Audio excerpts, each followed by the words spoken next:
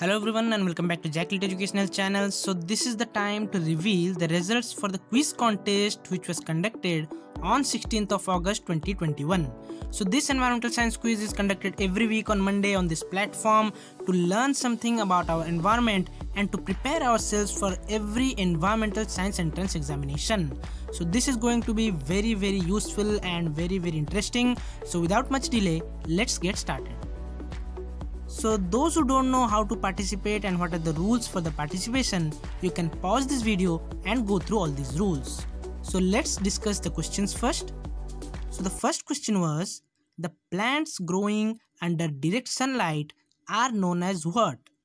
And here, the correct option will be option number A. Yes, heliophytes are the plants which are growing under the direct sunlight and you should also know the other options which are Pseophytes or sciophytes. So the sciophytes are the shade loving trees. So these are the opposite of heliophytes you can say. So these are the opposite. That means they are not growing or they don't love the sunlight. So they are photophobous plants. Also they are called phobic means which you are not loving or which you are afraid of. So they are photophobous plants. They are pseophytes or sciophytes which are shade loving. They are not sunlight loving. Next coming to the psammophytes. So psammophytes are the plants or trees that grow in sand or sandy soil. So it is not that every time it will be on sand. It can be also growing on the sandy soil. Primarily in the deserts region they are seen. And dicots you also know that they are the the cotyledons which are two cotyledons which are found in the seeds of the fruits. Then these are called as the dicot plants. For example mango neem and what are monocots? They are having the single cotyledon which is for example in case of rice. Let's moving to the second question. Second question was from the lincoln index and the question was lincoln index measures dash of a population. And here the correct option will be option number C. Yes, this Lincoln index measures the population size and the formula is very very important. You should note down. It is called as the formula which is the capture recapture method or mark recapture method. This is called as Lincoln index which is used and the formula is this one. You should note down. The formula is number of marked in second sample. That means number of marked animals in the second sampling. So here two sampling are done divided by total number of animals caught in the second sample. So you have to mark the animal, then leave it into its surrounding, then again catch those animals and then you will see whether the number of animals which are caught are having that mark or not is equal to number of marked organisms or animals in the first sampling divided by the size of the whole population that is the population size given by the capital N. So if you know all these three values, then you will be able to find the size of the whole population, that is the population size. So this is the formula, number of organism marked in the second sample divided by total number of organism or animal caught in the second sample is equal to number of marked animals in the first sample divided by the total population size. Let's move to the third question. Third question was identify the mismatched pair and all the pairs are on your screen. And here the correct option that is the mismatch pair is the prairies. Yes, prairies are the grasslands and in grasslands you will never see trees because the epiphytes are mostly growing on the trees and here all the other options are correctly matched. That means tundra regions, tundra biome are known for the permafrost condition. Savanna are having the acacia trees. Coniferous forest are mostly having the evergreen trees and this option C will be the mismatch pair. That means it will be the correct option. Time for the fourth question. The fourth question was the process of vernalization is practiced in which kind of countries? And here the correct option will be option number A.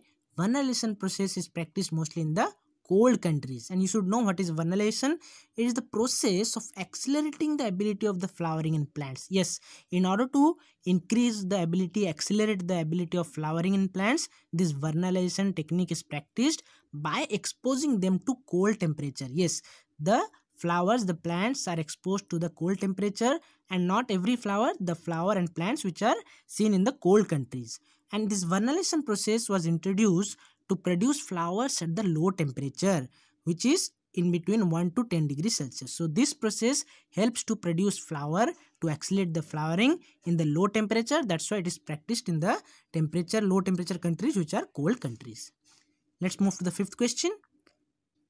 The fifth question was from the animal behavior. The question was the behavior in which one animal is aggressive or attacks another animal then what happens the other animal responds by returning the aggression or submitting is called as what so this kind of behavior is known as agonistic behavior. Yes it is any social behavior related to fighting. Yes this term has broader meaning. It is not always that it will fight or it will always do the fighting. So this has the broader meaning than the aggressive behavior because it also includes retreat. Retreat means the animal can move behind or backward withdrawing from the fight and other things also are included in fighting that is to display the threat for conciliation all these things coming under the fighting procedure that is the agonistic behavior. Coming to the sixth question. The sixth question was which gas is mainly produced due to incomplete burning of food? So incomplete combustion or incomplete burning of food produces harmful gas that is carbon monoxide. So it is a colorless gas. You should note down it is a colorless. It is a non-irritant odorless and tasteless toxic gas. It is produced by the incomplete combustion of carbonaceous fuels such as wood, petrol, coal, natural gas and kerosene. All these things when are burnt incompletely then they produce the harmful gas that is carbon monoxide. Let's move to the seventh question. So the seventh question was the process when the rocks that the river or sea is carrying knock against each other is called as what? And this process is known as attrition.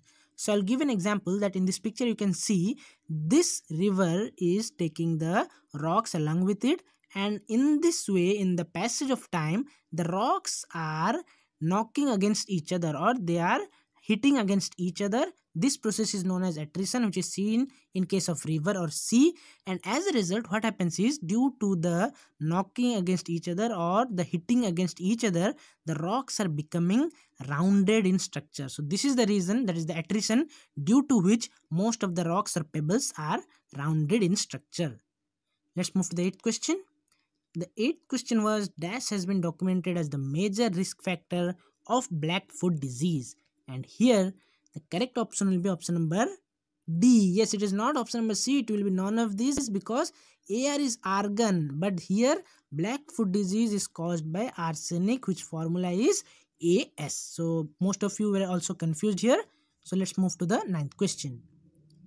So the ninth question was jellyfish such as comb jellyfish produce the bright flashes or bright lights to frighten their predator when which of the following reaction takes place. And here the correct option will be option number C. When the luciferin chemical reacts with oxygen, it produces lights or flashes. In this bioluminescent organism, you should know these things. Bioluminescent organisms are the organisms which are using the luciferin complex when it reacts with oxygen. The luciferase enzyme makes oxyluciferin and produces light. So this is the reaction. You should also know this one. When the luciferin substrate present in the bioluminescent organism, as you can see, this is the sea wave carrying millions of algae and phytoplanktons. So they are also having the bioluminescent character. Also jellyfish are having and also fireflies are also having these characteristics when luciferin reacts with oxygen and the enzyme luciferase gives rise to oxyluciferin which produces light in this organism. Time for the final question. The final question was very easy. The question was which of the following has a wavelength less than the visible light and the options were radio and TV waves, infrared, UV and microwave and among them the correct option only option number C UV rays are having the less wavelength than the visible light. And you should note that the electromagnetic spectrum is also a very frequent last question. And here as you can see the wavelength decreases from radio waves to gamma rays. And you should know the sequence. Radio wave microwave infrared visible light ultraviolet x-ray and gamma rays. So this is the decreasing wavelength or increasing frequency. So this thing you should note down. It is the increasing frequency or decreasing wavelength and here visible light is having more wavelength than the ultraviolet rays. So now it's time to reveal the results for this quiz contest. So four of our participants have secured 10 out of 10 marks. They are Akshay, Akanksha, Alka Jain and Khatija Samreen. So congratulations to all of you. And other participants who have also done well